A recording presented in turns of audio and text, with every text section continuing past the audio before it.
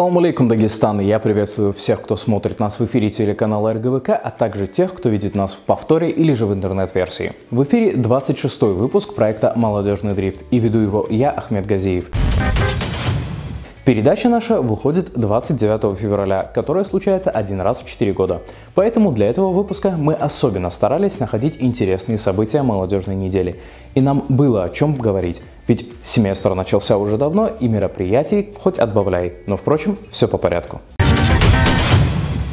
Наверное, каждый молодой человек хотя бы раз в жизни слышал о платформе «Молодежная Россия». Здесь можно зарегистрироваться на все молодежные события, форумы и грантовые конкурсы. Если у тебя еще нет личного кабинета на платформе, то вполне можно это сделать. А совсем недавно Росмолодежь, События и оно, Диалог запустили форум «Чат-бот». Он станет помощником для тех, кто интересуется молодежной политикой.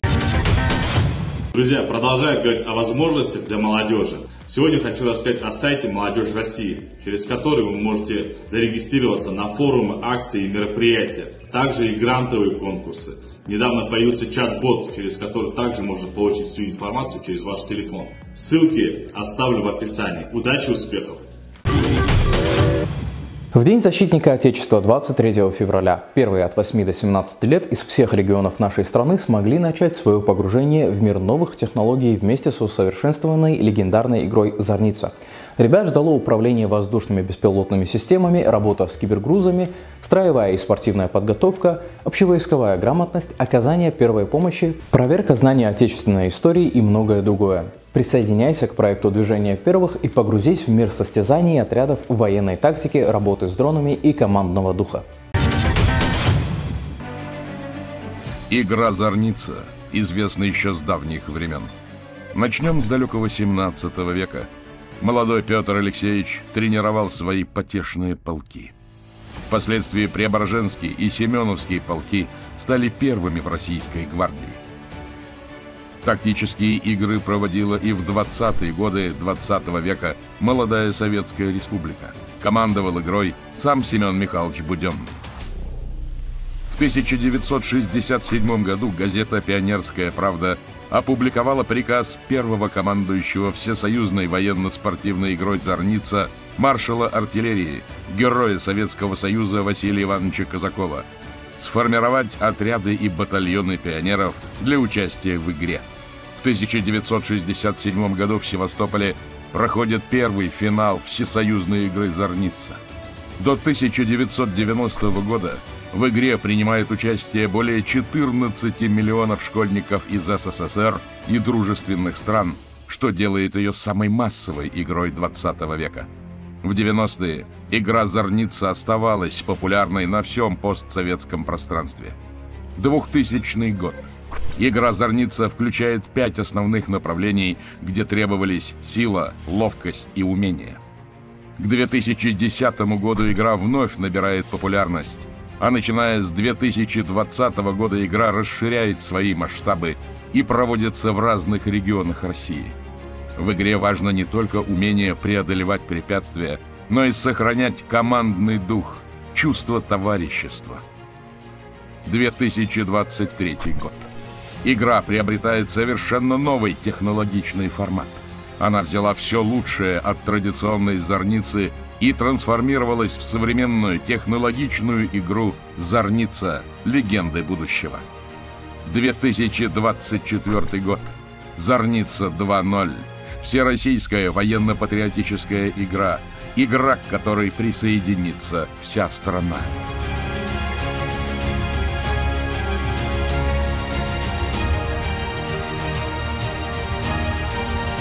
Игра будет проводиться на единой цифровой платформе и включать тактические игры для отборочного и муниципального этапов. На региональном и окружном этапах участников ждут военно-тактические игры. Большая военно-тактическая игра на всероссийском финале. Это свобода в принятии решений. Беспилотные летательные аппараты, имитационные группы и бронетехника, изменяемый ландшафт.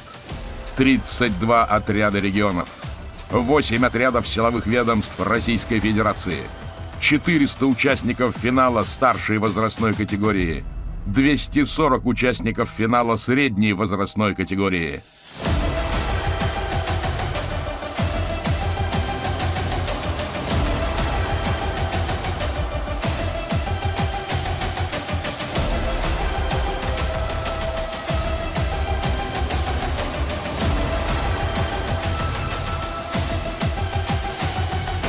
Игра началась. В канун Дня защитника Отечества, а также в год 30-летия филиала ДГУ в Дербенте прошла военно-спортивная игра «Годинг строевой».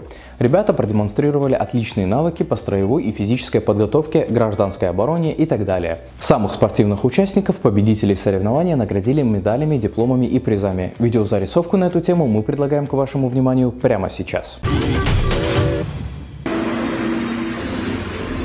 Добрый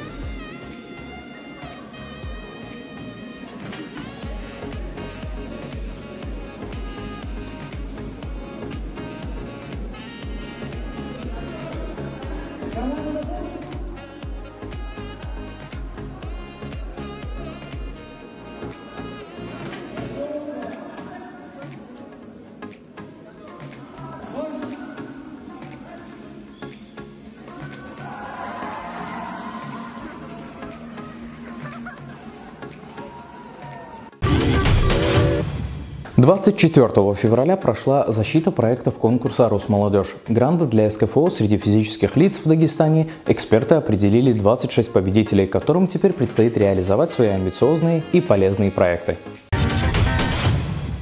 89 регионов, более 80 тематических событий, новые знакомства и встречи.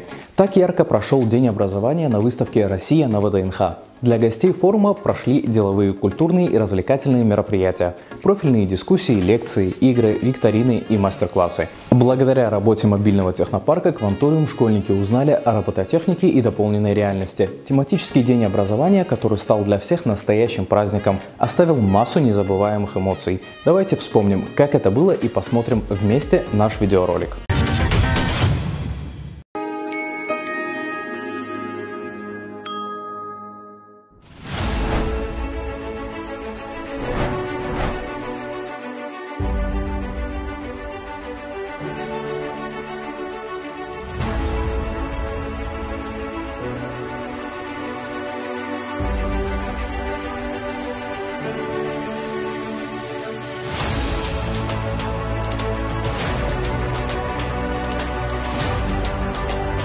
Россия в числе лучших по качеству образования и занимает средневзвешенное место 9,6. Я вас с этим результатом, уважаемые коллеги, поздравляю. Самое главное – создана система. Воспитание, инфраструктура, качество образования. Конечно, образование – это будущее. Сергеевич, у нас с вами, конечно, много еще задач, но я хочу сказать, что то, о чем вы говорили по поводу а, создания суверенной системы образования, сегодня у нас для этого все есть, и а, остается только продолжать работать в этом направлении.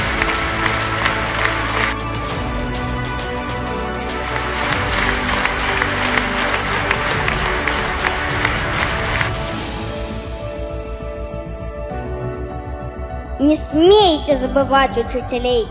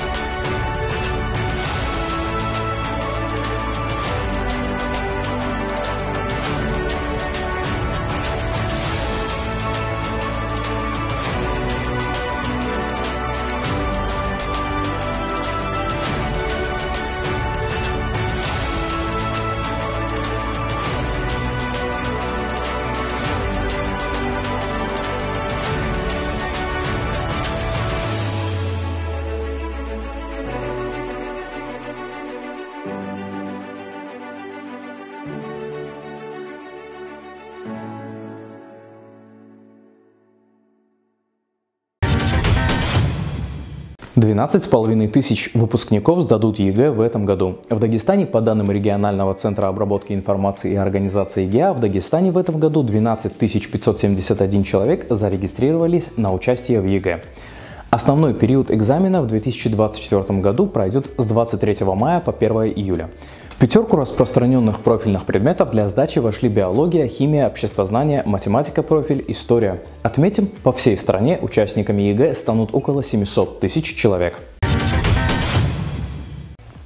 Альпинистский клуб ДГУ «Эос», призер фестиваля ледолазания «Матлас», Свыше 50 смельчаков-альпинистов и 14 команд три дня покоряли замерзшие водопады вблизи села Сиух в Хунзахском районе. Холодно, скользко, темно. Участникам необходимо преодолеть по ледяному водопаду в общей сложности около 60 метров. В первый день спортсмены соревновались в скорости в парной гонке, во второй – на сложность преодоления маршрута. В командном зачете команды ДГУ заняли второе и третье место – а в личном зачете в категории профессионалы в упорной борьбе победителем стал студент ФМИКН Асхаб Алиев, лучшая спортсменка и альпинистка среди профи Изабелла Аммаева.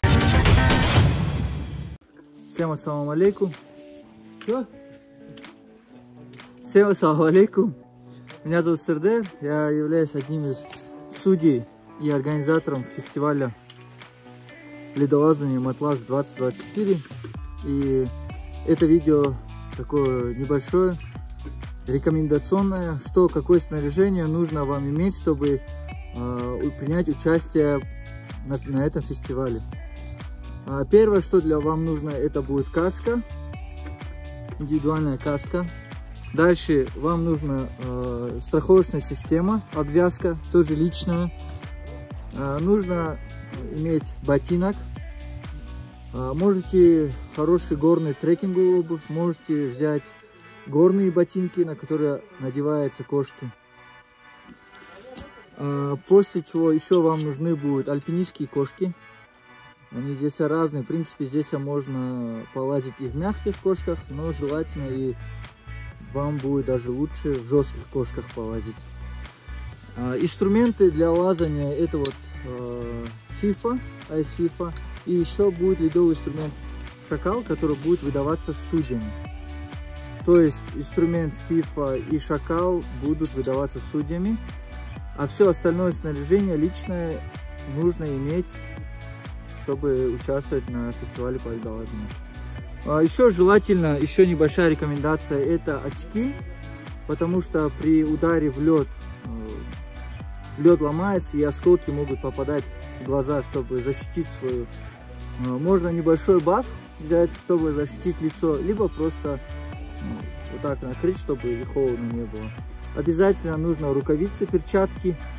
Тоже руки замерзают, нужны перчатки. Без перчаток на старт тоже не выпускаются. Приходить в теплой куртке, разогреваться, снимать теплую куртку, выходить на старт, лезть и опять надевать теплую куртку.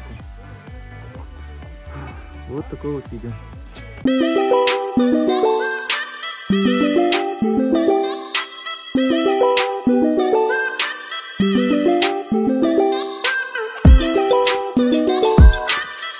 Спуститься к этому замерзшему водопаду уже испытание, а покорить его способны истинные смельчаки. На ногах специальные ботинки-кошки, в руках ледорубы, на голове каска. По команде судьи экстремалы начинают взбираться на ледяную стену. Необходимо как можно быстрее добраться до вершины.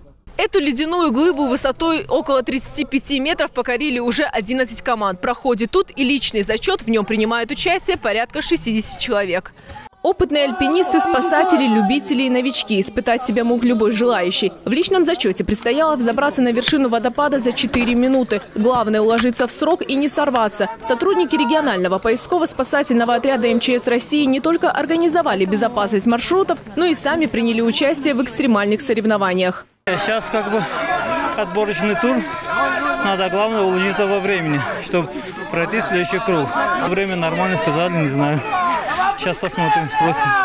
Чуть-чуть не рассчитал свои возможности и время вышло. Ну, я сюда приехал не, по, не ради победы, а для того, чтобы понять, набраться опыта. И самое главное, я для себя сделал вывод, то, что э, Здесь, на данном льду, может сорваться не только новичок, но и опытный ледолаз. Фестиваль ледолазания Федерация спортивного туризма республики организовывает уже не первый год. Тот, кто хоть раз покорял ледяные вершины, остановиться уже не может. К замерзшему водопаду Джинет приезжает во второй раз. Девушка ведет активный образ жизни, бегает, занимается спортивным туризмом, скалолазанием и альпинизмом. В этом году я выступила лучше. Я еще участвовала первый раз в жизни в прошлом году а, без единой э, тренировки, подготовки какой-либо. Я сразу приехала на соревнования. Там, конечно же, я вылетела с первого же круга. В этом году мы более-менее подготовились а, с командой моей э, от Федерации скалолазания. И мы, мы, получается, прошли первый круг, прошли второй круг, и на третьем круге, к сожалению, сорвались и упустили возможность э, побороться за полуфинал. Наверное, привлекают сложности, с которыми мы сталкиваемся. Мы их преодолеваем, становимся лучше, становимся сильнее, выше, круче и так далее. И это очень мотивирует.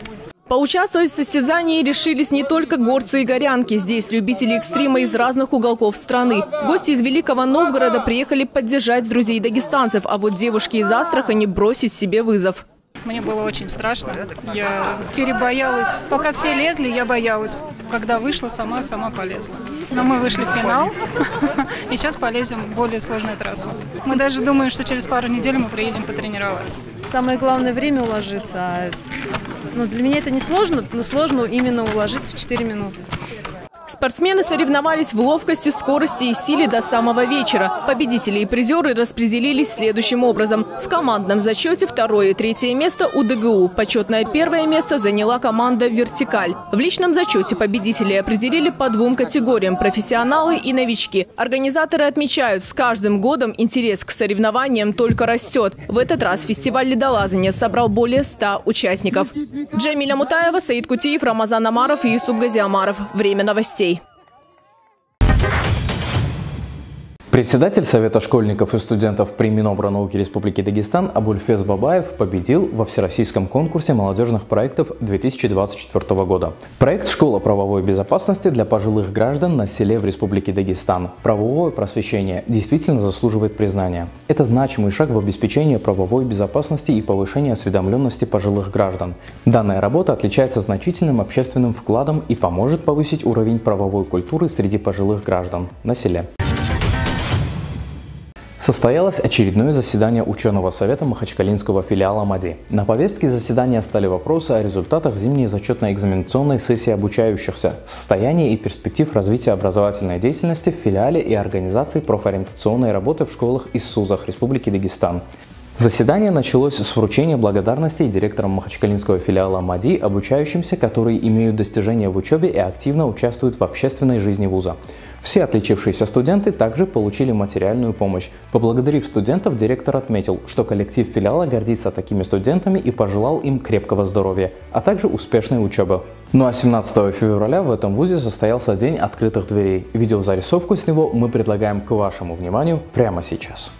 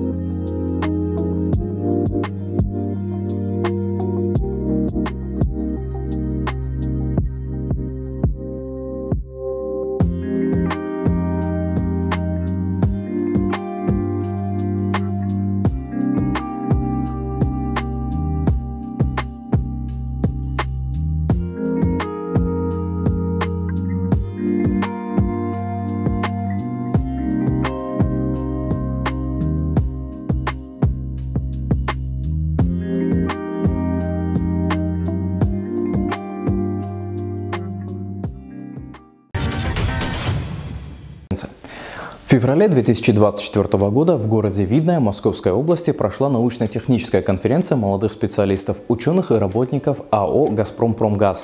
На рассмотрении конкурсной комиссии было представлено 17 работ по основным направлениям деятельности АО «Газпромпромгаз». Газификации, транспортировки газа, СПГ-технологиям, освоению региональных ресурсов углеводородов, энергоснабжению. Аспирант третьего года обучения направления техника и технологии наземного транспорта ДГТУ Марат Шабазов выступил с докладом на эту тему.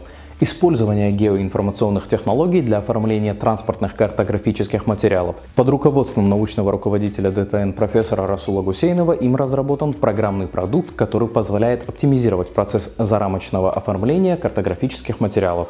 По итогам конкурса проект Марата занял первое место в номинации за лучшую рационализаторскую работу. Министр здравоохранения Российской Федерации Михаил Мурашко отметил, что 23 февраля – это праздник истинных патриотов, беззаветно служащих Родине и ее народу ради их безопасности и процветания. Праздник объединяет нас и делает непобедимыми перед лицом любых испытаний. Наша страна в сложный период всегда могла мобилизоваться, всегда добивалась результатов, поэтому всегда рассчитываем на наших людей, граждан нашей страны, на память о Великой Победе, завоеванной старшими поколениями, на всех, кто стоит на защите интересов нашей Родины, сказал министр министр в поздравлении. Министр также особо отметил, что к армии защитников Отечества по праву принадлежат и миллионы врачей, фельдшеров, медицинских сестер. Друзья, мы не только говорим о возможностях, мы и показываем, как ребята реализовывают те возможности, которые сегодня государство предоставляет. Посмотрите на ребят, которые выиграли сегодня гранты.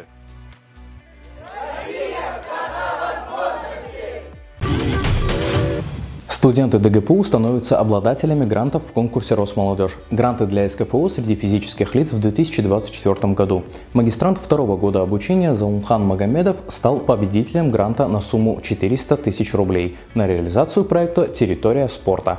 Студентка третьего курса филологического факультета Наиля Гусейнова также стала обладателем гранта на сумму 220 тысяч рублей на реализацию проекта «Дискуссионный клуб для культурно развивающихся людей». Поздравляем наших студентов с победой в конкурсе и желаем успехов в реализации проектов. Мы надеемся, что эта инициатива принесет значительную пользу молодежи Республики Дагестан. Ну а сейчас время традиционного интервью Амины Велихановой. Сегодня она продолжит серию интервью с психологом. Внимание на экран. То есть и получается так, то, что когда ты работаешь с детьми, эти дети немного вырастая, и их проблемы, и их кризисы переходят в подростковые. И то, что у нас происходит в подростковом возрасте, это у нас следствие того, что было у нас в прошлом. В принципе, оттуда же переход во взрослое. И когда ты работаешь с детьми, ты по-любому взаимодействуешь с родителями детей, и тебе приходится разбираться в их взаимоотношениях. Когда ты разбираешься в их взаимоотношениях, тебе приходится уже немножко наставлять, объяснять процессы родителям. Когда ты понимаешь, что и как э, отвечают тебе родители, откуда у них такая модель поведения, ты понимаешь, что у них происходило там, в детстве, в подростковом возрасте. То есть э, ситуация такая, что для того, чтобы нормально проконсультировать и объяснить чтобы в дальнейшем между, например, ребенком, там, подростком или там, ребенком взрослым или там, подростком и взрослым была какая-то связь, и это была связь продуктивная, приходится знать и то, и то, и то. Поэтому, когда вы спросили меня, с кем я работаю, на самом деле я работаю с каждой из категорий. Более того, сейчас работа просто такая, что с одной стороны я работаю корпоративным психологом э, в сети частных, получается, клиник и абилити центров. То есть там и с нормотипичными, и с детьми с особенностями. И я работаю именно с другими психологами, которые э, вследствие там, работы могут там, выгорать, уставать, прочее, и я работаю с ними. Э, это одна работа. Вторая работа – это в частном центре как раз таки детские и подростковый психолог, ну и частный прием такой отдельный тоже. И частные, и индивидуальные, и групповые. Поэтому приходится и там, и там, и там. То есть э, и в этом есть интерес, когда кто-то говорит о том, что есть только там какое-то определенное направление, и оно самое главное, топовое и прочее, или есть только один возраст, который там все идет от детства и прочее.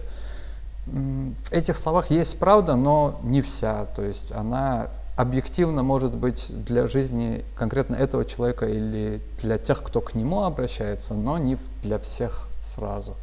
То есть поэтому приходится как бы э, понимать то, что все относительно и есть в каждом из этого всего своя правда. Вы упомянули, что как бы, вы работаете с детьми, mm-hmm. из, которые вырастают в подростков. Но когда тебе, условно говоря, понятно, там уже какой-то контакт доверия налажен. Uh-huh. Но когда к тебе приходит подросток, uh-huh. возможно, я не думаю, что сейчас такое часто происходит, так как э, подростки сами уже хотят ходить к психологам, но раньше, например, было такое, что родители привели, uh-huh. там, не знаю, за то, что курить начал, условно говоря. Вот, во-первых, как с этим работать, потому что там же явно есть какая-то отдельная специфика, потому что, ну, у меня, э, я начала работать с психологом, когда была, ну, как бы, три года назад, получается. Мне тогда было 12 лет, и mm-hmm. мне было супер сложно что-то рассказать вообще. То есть э, у меня своя методика брала. Я брала какие-то, спрашивала какие-то книги, mm-hmm. что-то еще, сама это все читала и какие-то техники потом оттуда брала. Как бы как работать с человеком, который, во-первых, не хочет работать, потому что его кто-то туда mm-hmm. притащил, и как работать с тем, кто вроде как хочет, но ему очень сложно раскрыться? А, во-первых, скажу, если человек там совсем никак не хочет категорически, смысла его заставлять, переубеждать или прочее нет вообще. Но частенько так бывает, то, что они говорят то, что «О, я не хочу, не буду» и все подобное, то ну, непосредственно перед самим родителем. То есть потом, как обычно мы делаем, Приняли от родителя, родитель, пожалуйста, на часок занимайся своими делами. Мы здесь пока посидим, поговорим, разберемся. А, итоге, если вначале ребенку, ну, подростку всегда очень сложно, то есть непонятное место, непонятный человек незнакомый. В принципе, если его до этого там родители не понимали, учителя не понимали, старшие не понимали, с какого вдруг должен какой-то неизвестный человек вдруг его сразу взять и понимать. То есть у него защита все равно работает. И тут ты в первую очередь должен поймать с ним контакт. Если ты ловишь контакт, то дальше работа будет идти непосредственно от заинтересованности самого ребенка. Если контакт не установили, то дальше работы и не будет ну, по крайней мере, эффективной. То есть его могут также приводить, но эффективная работа не будет. И вот это э, установление контакта, оно самое важное всегда. Как его устанавливать? А, это элементарно, ну, примеры таких вопросов, то что